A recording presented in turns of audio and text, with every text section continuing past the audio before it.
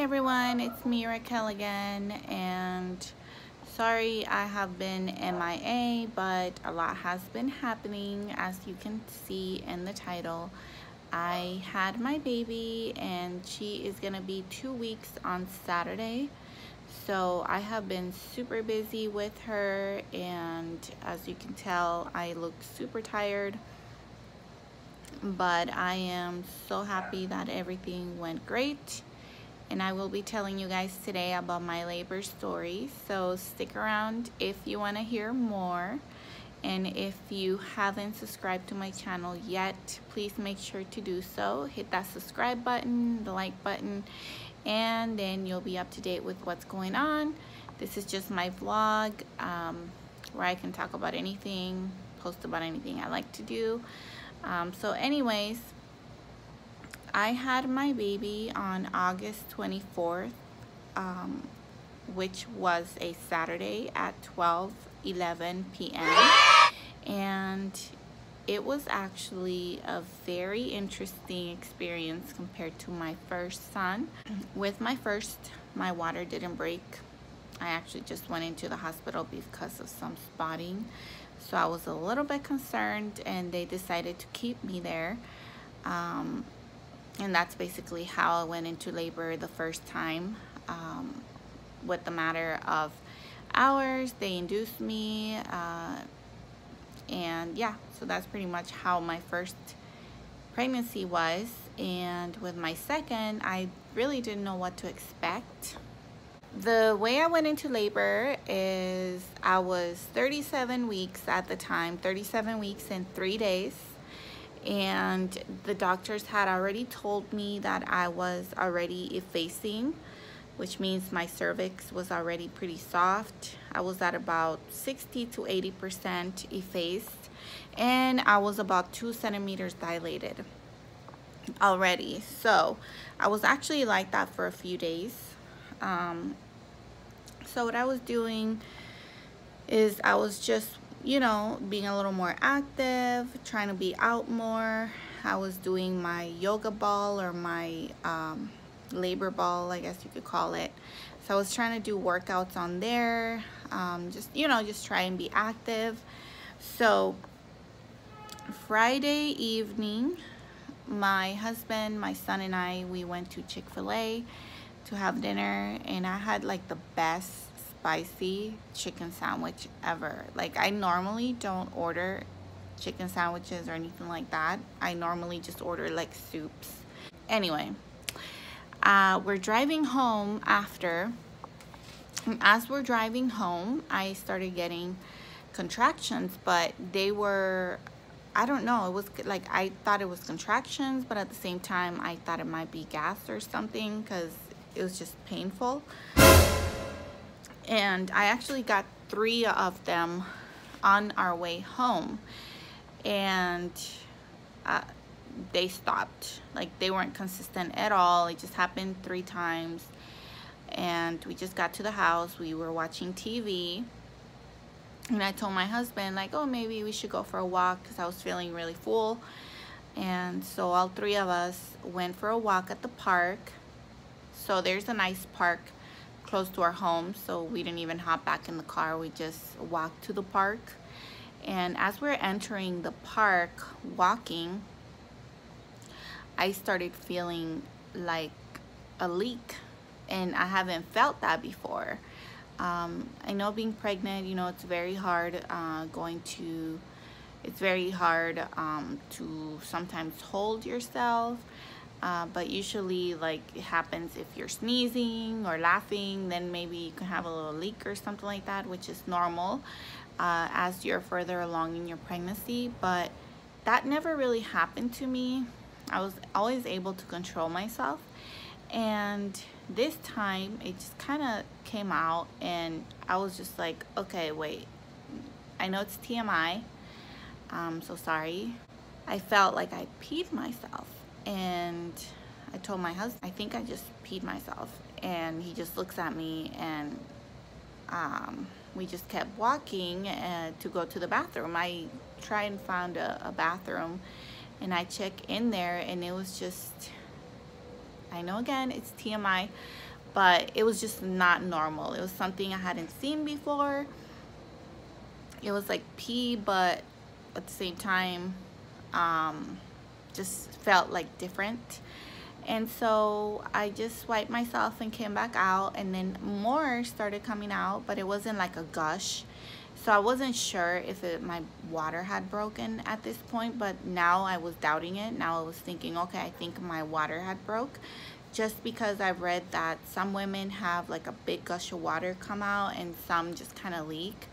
So it made sense but at the same time I didn't want to be like overly dramatic and and um, drive to the hospital or make my husband drive to the hospital and having them tell me no you're good you're not ready yet go back home. Especially being that it's like a very far drive it's like a 45 minute drive from our home. But at the same time I didn't want want it to be my water that broke and something happened to the baby if I waited too long. I wasn't having pains as I mentioned it's just that happened, the leak. We decided to just head to the hospital and um, so my mother-in-law, my son, my husband, and me hopped in the car. We got our stuff ready. I showered beforehand because I didn't know uh, what was gonna happen. I we took all of our stuff with us just in case. And so we get to the hospital and they take me in a room and they checked me and the girl told me actually it is your water that that uh, ruptured. So we're gonna keep you here. And I was like great. I, it was just like a weird feeling. Like I wasn't I didn't think it would happen so soon. Um, I know with my first I had him at 37 weeks as well. Um, and it's just strange that my second baby I had at 37 weeks as well. So I wasn't having pains. I wasn't dilating. Um, they checked me. I was about three centimeters dilated, but I wasn't having pains. My water was the only thing that had broken. So what they did is they sent me and my husband, they, they changed me into the hospital dress, the ugly dress. And we were just walking uh, every 45 minutes. Then we would come back and they would monitor me. I started getting more consistent contractions as we were walking. And about two or three hours into it they weren't checking me every time for dilation just because they said um, they didn't want to cause a bacteria or anything like that. I'm gonna cut the story short guys because it's a, it's a long story. But anyway so we got back after several hours of kind of just repeating uh, the walking and the checking me every 20 minutes and i was getting a lot of contractions. I could have swore I would already be at like five centimeters by the time we got back, but they checked me again finally and they tell me that I was 3.5 centimeters. And I was like, what the hell? How could this be possible? Like I was starting to experience the contractions and more consistent and things like that. They said if it wasn't moving fast enough um, by a certain time that they were going to add Pitocin to me to kind of get everything speeding up. And so finally they ended up doing the Pitocin. Um, I was okay with them just doing like two millimeters. And then uh, along the way with everything happening, somehow the girl ended up putting like eight milligrams of Pitocin overall. All the contractions just started coming to me at once and I was in so much pain. I had asked them, uh, first the girl that was taking care of me went and took her lunch. So we had additional people come in to check me as I was having this crazy contractions. Then the girl finally came back and she called the epidural guy. Then they were trying to find him and he finally came in. At this point, I'm already like dying um, of pain and getting all these contractions like a minute apart each or less than a minute apart super painful. And then uh, he does the epidural on me. So it was like this was so traumatizing. I did not with my first I as soon as I got the first big contraction I asked for the epidural. Uh, but this time I held on longer. Um, so anyway he's injecting me with the epidural and I cannot move because they you have to stay in a certain position and that shit hurts. And then as he's doing that, I'm getting a huge contractions like all my front and it was just horrible because I had to like basically stay in one place. I couldn't move. I was afraid that if I moved that he would get the wrong, I, I don't know. All, all kinds of things were going through my head. So I, I actually started crying, just freaking out. But anyway, he was able to get the epidural. And then uh, a few moments after the baby got there, what the hell is my neighbor doing? This just got awkward because they're going up on the roof of their neighbor's house. Okay. Anyway. I'll just pretend I didn't see that. So, um, finally the baby got there after about 11 pushes and she started crying and it was like I just got so emotional that I don't even know what happened to me. It was 10 years ago that I had my son. I had no idea of anything. And I don't remember getting that emotional. I think I was more scared than anything. So after that, everything was great. And we were only at the, I only tore a little bit and only got one, one um, stitch which was great because I felt I feel that I've been recovering and healing a lot faster than I did my first time. Um, just the whole recovery has gone so smooth. Now with the baby, she has been uh, up and down at night, almost one to two hours, every one to two hours. She's up wanting to eat. During the day, she's sleeping like all day long. I can't believe she's already gonna be two weeks. My highest weight or my weight before pregnancy was 146 pounds and I've lost already about 15 pounds because I'm 160 right now and I haven't really been trying to lose anything just because I am breastfeeding um, so I'm trying to actually eat more yeah that's pretty much in a nutshell guys what's been happening more recently.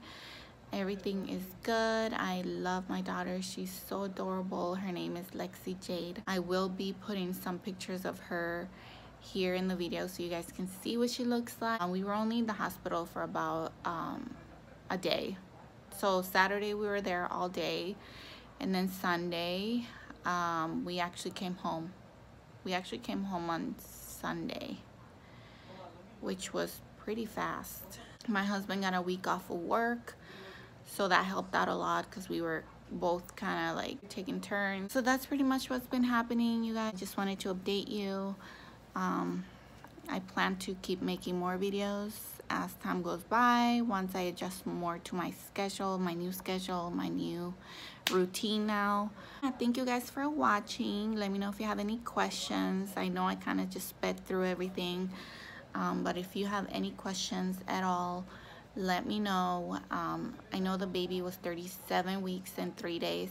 She weighed six pounds 6.11 pounds and was 19 inches long perfectly healthy there was no issues which I'm so happy because um, just I mean I thought her weight was pretty low but she was pretty healthy so I guess that's all that matters stay tuned I will be making more videos let me know what you want to see next Thank you for watching. Make sure to subscribe and hit the like button. Bye.